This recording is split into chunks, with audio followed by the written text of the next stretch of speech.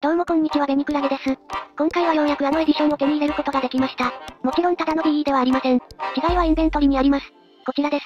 中国語になっていますね。一部の方は知っていると思います。そう中国版のマインクラフトです。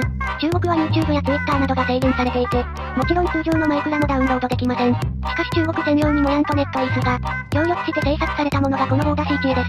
見た感じは統合版ですが割と違うところがたくさんあります。というわけで今回は中国版の限定要素を解説していきたいと思います。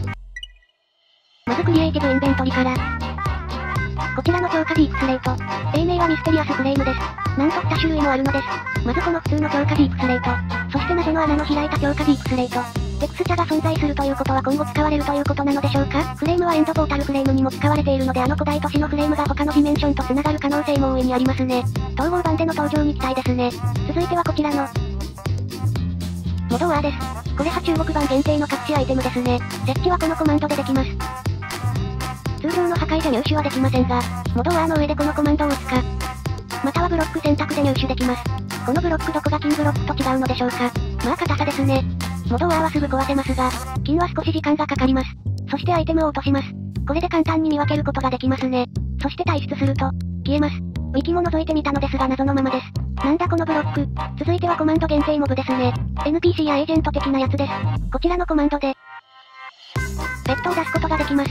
ペットはほぼキツネですが、ちゃんと見分ける方法があります。まずスイートベリーを食べません。あと気づいている方もいると思いますが動き回りません。本物はこれです。ちゃんと鶏も殺してくれます。ちゃんと食べます。普通に間違い探しに使えそうですね。ペット的な要素は BE でも追加してほしいですね。中国版には他にも限定の要素があります。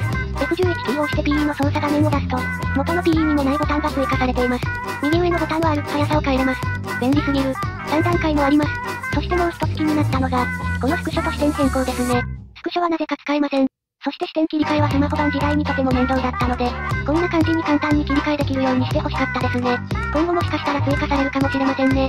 というわけで今回は中国版のマイクラを紹介していきました。忙しい中作っているので紹介できていないものもあります。この動画が好評なら第2弾もやる予定なので高評価とチャンネル登録もお願いします。